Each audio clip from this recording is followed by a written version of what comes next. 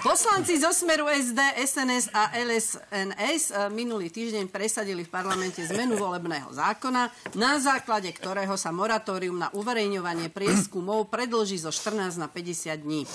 Podobne dlhé moratórium je vo svete len v Hondurase, Bolívii, Kamerune a Tunisku. Podľa prieskumu je proti dlhšiemu moratóriu väčšina Slovákov. Predseda parlamentu Andrej Danko vyhlásil voľby na 29. februára 2020.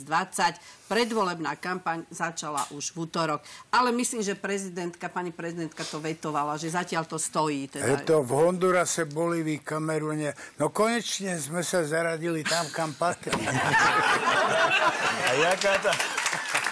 Som nedopočul tá... tá... Milan, musím na toto reagovať, ja, lebo bola taká anketa a presne toto povedala jedna pani, čo ste vy teraz povedali, ale s nadšením.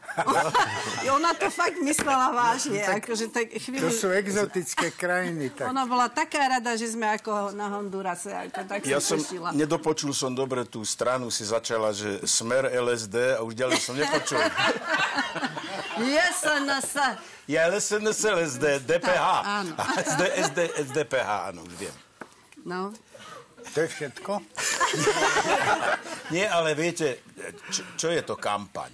Ako, no. Že hovoriť o nej, prieskum je svojím spôsobom, môže byť tiež kampaň. Áno? A to, čo tie strany robia, no, skrátim to, treba zrušiť aj kampaň. To je všetko. Dobre, dobre. No ale čo to znamená, ja by som rád vedel. Moratórium to je ako, že čo? Nes, že, že, nes... že nič, áno?